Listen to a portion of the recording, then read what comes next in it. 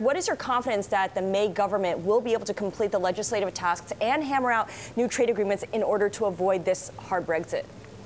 Well, we will start the legislative process uh, today. I think there's a great repeal bill being launched in the House of Commons by uh, the Secretary of State uh, uh today. And uh, we launched the negotiations from our side with the delivery of the Article 50 letter yesterday. And as soon as the EU has agreed its negotiating mandate, then we can get down to work, and we're confident we can do what needs to be done over the next two years. It had seemed that the European Union was intent on making an example out of the UK to discourage perhaps other countries from attempting their own referendum.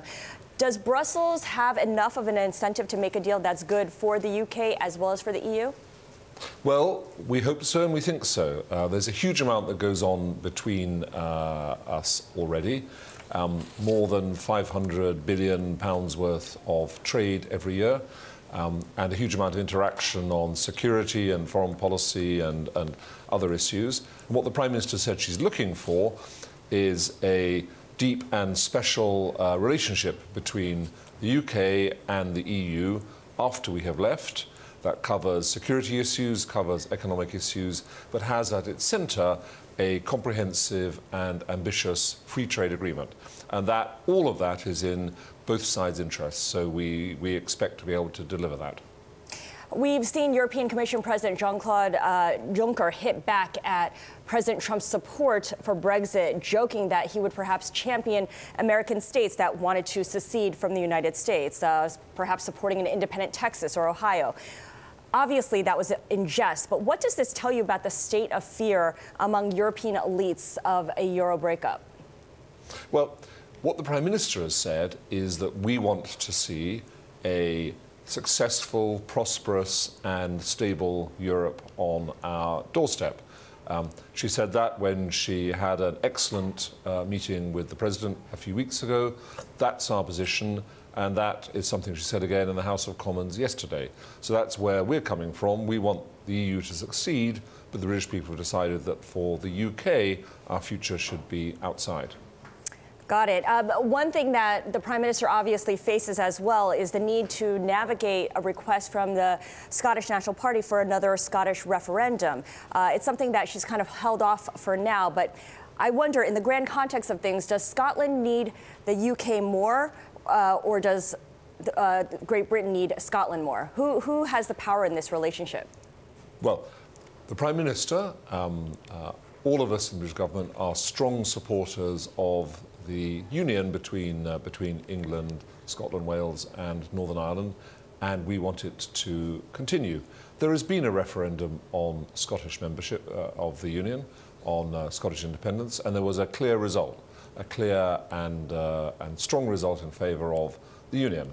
And the Prime Minister said yesterday, now is not the time for a second referendum on Scottish independence, especially since, especially since we're about to go into the negotiations uh, on uh, our future relationship with Europe, and surely we should settle that first, get an outcome of that first, before there is any consideration of this, uh, this issue of Scottish independence. Right, it might serve as a distraction. Let's move on to the relationship between the U.S. and the UK. Uh, President Trump, as you know, campaigned on breaking the rules flouting convention.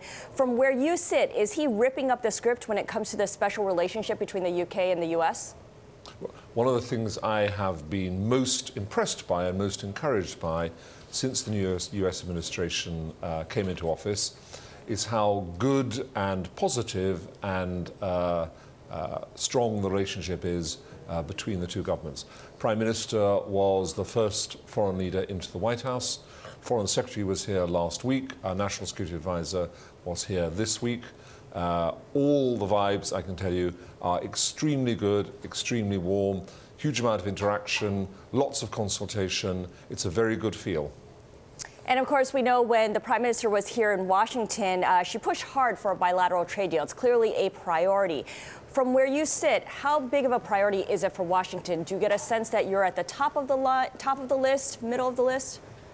Well, the president was clear, and we were very grateful for this that as soon as we were ready to negotiate a free trade deal, then the US side would be open and ready to start those discussions. Uh, I've since talked to Commerce Secretary Wilbur Ross, a number of other figures in this uh, administration. I get the same message of openness and willingness and positivity from all of them. We can't actually sign a free trade deal with the United States until the day that we leave the European Union, but we can certainly start discussions on it, start talks on it, um, and there have been some contacts already, and we will continue and intensify those contacts, those talks uh, over the coming months. Right, hammering out the terms of uh, any kind of trade deal. Are we likely, Ambassador Darroch, to hear any concrete news uh, soon on the much trumpeted state visit by President Trump to the UK, or do you think that's been pushed back to the back burner? I think uh, we are discussing uh, dates um, with, the, uh, with the White House, with, with the President's team.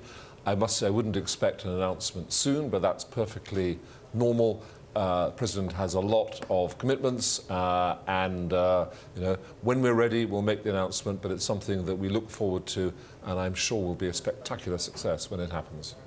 And final question to you, Ambassador. What is the number one interest when it comes to trade, when it comes to uh, political ties that the UK needs to advance, when it comes to the UK US relationship? This is a special relationship across the national security, defence, intelligence, foreign policy, economic, and trade field. All of it is important.